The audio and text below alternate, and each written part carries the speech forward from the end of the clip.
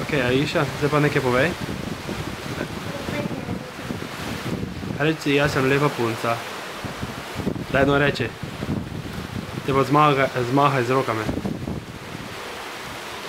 Ok, dobro.